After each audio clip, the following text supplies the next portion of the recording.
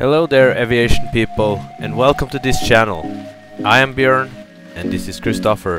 We are going to take you all the way through the beautiful country of Norway. If you ask me, Norway is one of those countries you wanna have on your bucket list. Look at this awesome short film, magical grass fields, amazing fjords, breathtaking mountains, mysterious valleys, endless ocean, stunning winter views, smooth rain and cloud surfing. And the most important, the people, the passion and the love for aviation.